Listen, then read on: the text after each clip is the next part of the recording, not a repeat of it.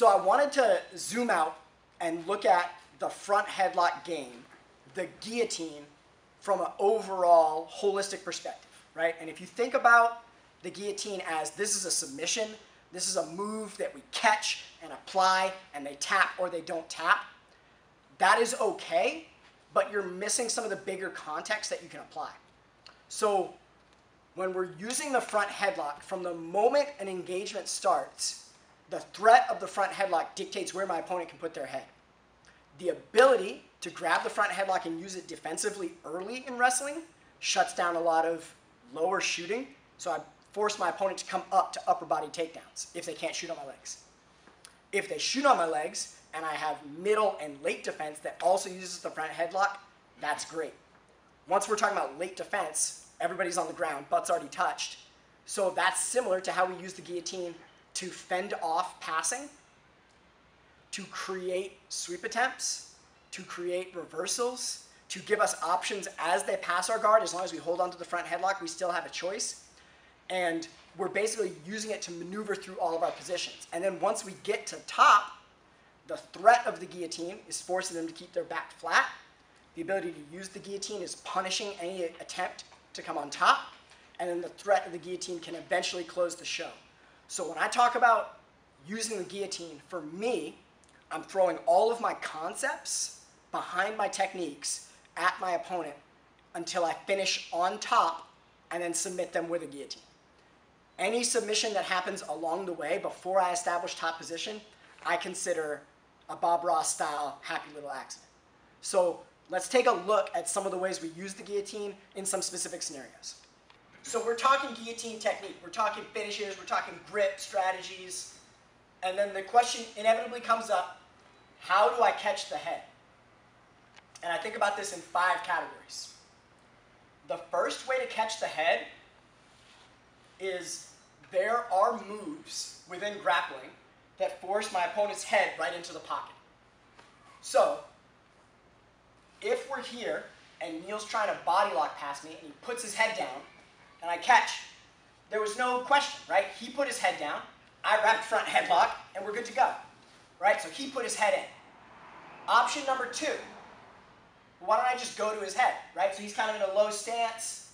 I'm going to come up, grab the head. So I went to the head. Option three, instead of going to the head, I'm to pull the head to me. So instead of coming up, I pull down, wrap the head, and now we're in front headlocking. So one, they initiated. Two, I initiate two different ways. I either go to them or I pull them to me. Both good options. Fourth option that we're going to talk about is I have to kind of find it in the scramble. So one of the number ways, number one ways that I like to do this is as my opponent's knee cut passing, I make the knee cut pass very available, and then I turn down to turtle, and then I'm going to back out into the guillotine. And the way it looks is like this. Neil's going to knee cut pass nice and slow. I throw this arm up alley-oop and go to my knees, and look, this arm is hanging out right behind me. So Neil's going to start thinking about taking the back, post, switch, up, head there. Boom, guillotine. Right? It's one of my favorite ways to catch. So you were passing, and you kept your head away while you were passing, but now as you complete the pass, you stop worrying about that and your head shows up again. Last option. Neil's got my back. We don't start guillotining while we have our back taken, right? So Neil's not worried about that. So that's why I know this is my guillotine arm now, because it's free. So why don't I just back out and make it available? Boom, boom, here. Now, either I get on top or Neil gets on top, it doesn't matter. For our purposes right now, Neil will get on top. Keeps coming, keeps coming, keeps coming, keeps coming, boom. So, option one of how to find the head, their head's there. Option two, you go there. Option three, you bring it there. Option four, you transition until they forget about it. Option five, you attack from a defensive position and basically counterattack as they're hunting. Boom. So, guillotine. The grip is the guillotine, the guillotine is the grip, right? Like, those are the same things. It's hard to differentiate them. But what's the purpose of the grip? To me, the purpose of the grip is to control them, first and foremost, you can't lose it. And then second of all, to pressure them into bad decisions. So when I'm guillotining from bottom, I want enough pressure to submit them, but the pressure of that submission is going to make them concede position. So let's talk about some gripping details here. First of all, in terms of the control piece, why do we do arm in or a guillotine without the arm? I love the arm in because it means that I'm going to win position more times than not. When I go without the arm in, I may win position, but I open up a chance at the Von Flue choke. My opponent can hop to the other side and set up the Von Flue on my neck. Boom. And once I've wrapped the head, the Von Flue is the only way to make me concede without defeating my grips. So that's why I don't use the no arm in until I have a, a high level of confidence of being able to control them and put their body where I want. So arm in. Now, when I arm in, I have one specific detail that I do differently than the vast majority of people. Most people make a fist, connect to their fist, and that's their arm in guillotine. Brian Harper, who's an absolutely brilliant mind in the martial arts community, taught me to punch into my own hand and roll my wrist up. And if you're watching, the difference between this and this is that much space. So you can literally watch the space disappear as I roll in. And if I'm working with my partner, I can start with that standard grip, drop my chin to the back. Now, I'm going to tap them just by rolling into the J-hook. That taking away the space is what locks down the grip. So by having less space and a more aggressive grip, I'm creating more pressure, more submission opportunity, and more likely the chance that they'll give up position. So arm in, I'm using the J-hook. Now, I only break down a couple of the categories. There's a million gripping options, but at a certain point, it's too much complexity beyond being useful. I like, Danaher calls it low wrist, high wrist. Um, I like to use knife hand whenever I'm low. A lot of people use that chin strap, but I don't like it as much. I like knife hand low. And then when I go high, I want to be elbow in line with the chin. So I'm either knife hand, or then I punch deep, and my elbow lines up with the chin. So Danaher calls this high wrist position. Um, a lot of people call this like a Marcelotine. I just call it a power guillotine because no matter where I connect my hands, no matter what I do next, it's all the same basic finish. So the power guillotine is very, very powerful, as its name suggests. Ta, ta, ta.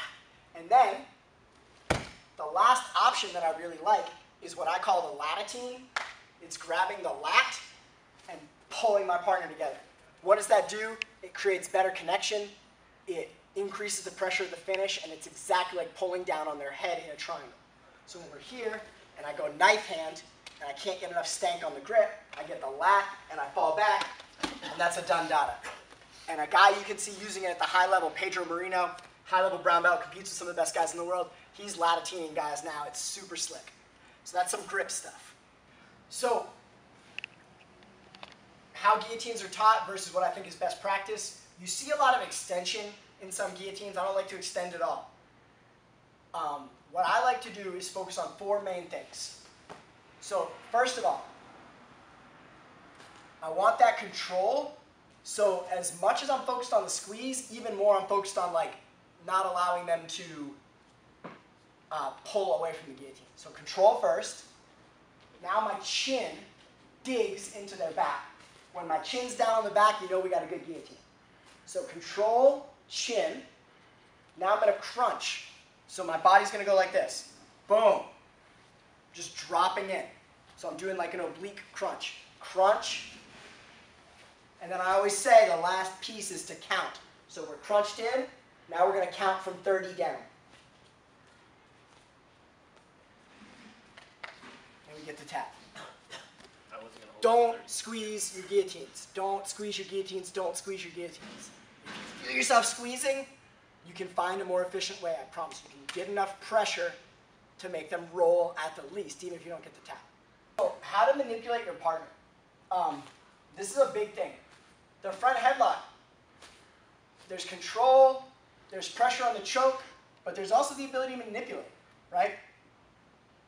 So one way I'm manipulating is by pushing the head down like a forward roll. The other way I'm going to manipulate is to lift the head and chop the elbow to make them touch their other hip to the ground. So over here, so now I've got the butterfly hook on the other side, and I go the other way. But with that guillotine, we've got a two-way go. A drill that I like to have people use is their partners on the wrong side of the guillotine. And now, I'm going to put their hip down on the mat. And then as they come back up, I'm going to bring them up over the top. So notice my elbow is going to hit the ground on both sides. Come back. I put my elbow down on the ground. Now I'm going to put my left elbow down on the ground. And you can see how much I'm twisting my partner around. And if you can do that, you can create some really good opportunities. If we are not focused on the submission, then we have to understand what positions can be created, and then we have to have answers. There's two main categories here. I've caught the head, I've got control. Option one is them rolling to the side where my guillotine is. So option one is they just roll over this way, right? So I'm sitting here, and I think I'm going to get my choke, and my partner just decides to roll. There's ways I can stop that roll, but more often than not, I want the roll. So I don't need to worry about stopping it. I just need to know what's going to happen and why.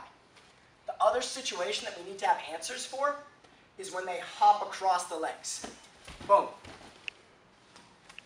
This hop across the leg is the least understood part of guillotine. So many people teach it like, just don't let them go to that side. And to me, that's the wrong answer. They're to go there. So let's have answers. Is my guillotine as high percentage from the moment they jump across? It drops. But if I'm effective from that position, and if I have a technical understanding of what I'm trying to do and why, I can win more battles than I'm going to lose when they jump to that wrong side. So they're either going to roll or hop to the wrong side, or I'm on bottom, or I'm on top. And those are really the options. When I'm on top, the key is to, my opponent wants to turn in. They want to turn in and face me. So right now, my partner's head is flat against the ground, and it's very difficult to attack guillotines. But the second they do a simple bridge and hip escape, bridge, bridge, bridge, bridge, and hip escape, the back of the head just got exposed. so when I'm hanging out and they bridge and hip escape,